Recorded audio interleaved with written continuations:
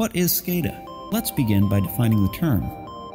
SCADA is an acronym made up of two elements, the first being supervisory control, and the second being data acquisition.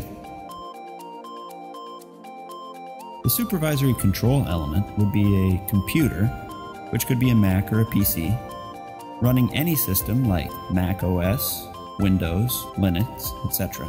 Now, in SCADA systems, this is also referred to as an HMI, or Human Machine Interface. And it's from here that the operator can control a machine or supervise a process on the plant floor.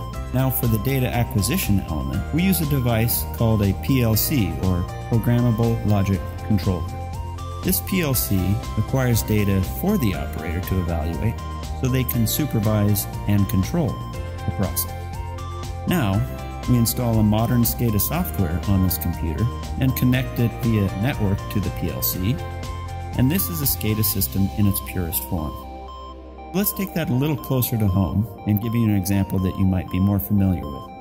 Some advanced home thermostats actually monitor your usage and then, based on that usage, create a program. This more effectively and efficiently heats or cools your home.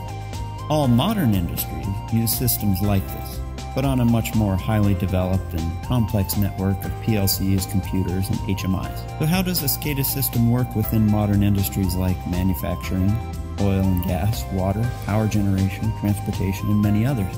Let's head over to Johnson Winery and see a SCADA system in action.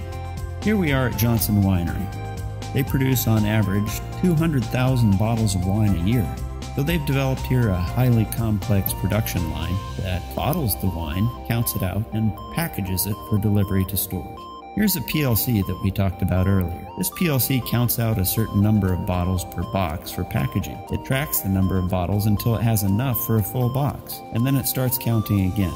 It does this all day long, and all day long it's reporting this information back to the modern SCADA software on that computer we talked about earlier. That computer is then telling other parts of the production line that the units of 12 bottles are moving down the line to packaging. Now, let's say that an executive at the company has studied some of the data acquired by the SCADA software, and in that study, he's determined that it would be more cost effective, more efficient.